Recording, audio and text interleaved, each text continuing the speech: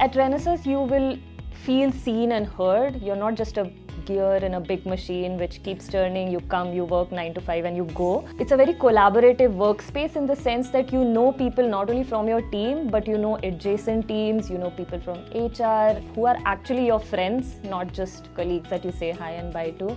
They give you responsibility, they do not shy away just because you're new. If you take initiative, they will give you more, not only your actual deliverables, but they'll give you opportunities to grow as a person in your career. So at this point in my life, it's really important for me to balance my personal life with my career life. I have a toddler at home. I have to go to drop him at daycare and pick him up, and that falls right in the middle of my work day. My team schedule no meetings during the half an hour that I have to go to drop and pick him up. So that is one thing. Then they also make sure that I have no meetings in late in the night because they know I won't be able to concentrate much because I have a toddler at home. So I have opportunities to attend conferences, to participate in D&I events.